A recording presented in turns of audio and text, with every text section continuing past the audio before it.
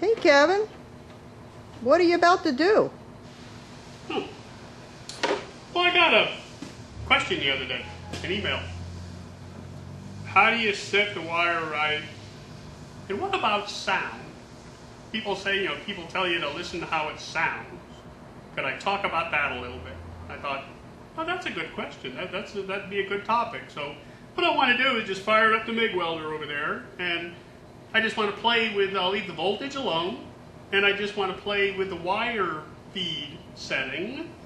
So it's too slow, just about right, and too fast. And what I want you to do really, if, if you got a set of headphones, put them on. If not, crank, a, crank it up and run the cat out of the room. And listen to the difference in sound. And see if your ear can pick it up the same way mine does. So let me fire the welder. Several different things I want you to look at when I'm welding down here. I want you to be paying attention to the sound. I want you to be looking at the puddle and look at the wire. Because one of the things you want to keep in mind, one of the things you want to watch is your, uh, is your welding. You want to keep in mind is when you got the puddle going and that wire's feeding out, you want that wire to be feeding right into the puddle. You don't want it stuck in the puddle, but you don't want it way up in the air either. It's got to be right there at the top of the puddle. Maybe just a little bit in. All depends on what you're doing. But we'll try to get a good close-up right there so you can see. As I adjust the wire feed, and you can see sometimes the wire's way up in the air, sometimes the wire's way down in the puddle, and that'll have a difference on the sound, and that'll have a difference on the quality of the weld. So put your helmet on. Let's go look over here. So now I've got the wire feed set way low. It's down to 120, and the ampere, the volts rather, is set at 18.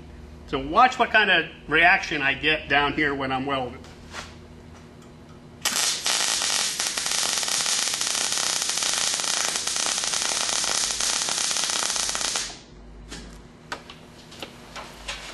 Now, did you see that? The wire was actually looked like it was getting cut off as you were welding, as I was welding. It would get a little close, it would start to melt, it would burn, and then it would snap back out of the way. You hear all that popping and cracking. So let me turn the volt or turn the wire up a little bit and we'll see what we get.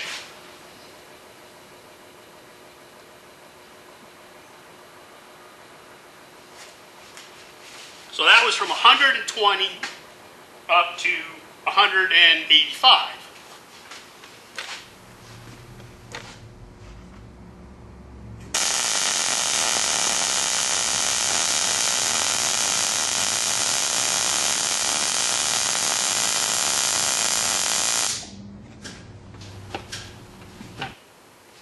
Hear that? Hear the difference in the sound?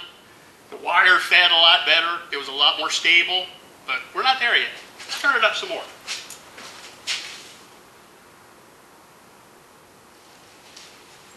So there's 225.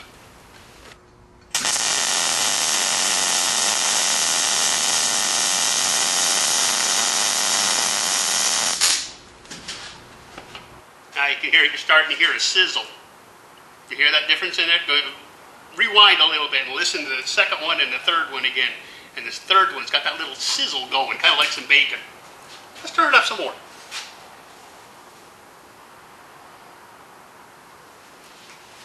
So here's 260.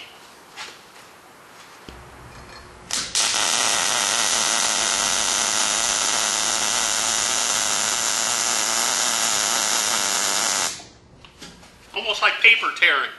They're like cutting it with this pair of scissors. Let's turn it up a little more.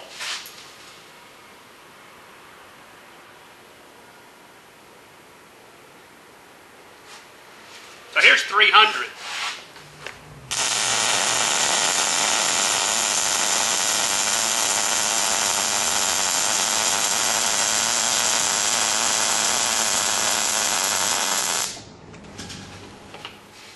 Did you hear that? Still had that sound, that si- that sizzle in there, but you see the wire feed got all weird. It, the puddle started building up. So you can kind of hear the difference there. You can kind of see the difference. You see what was happening.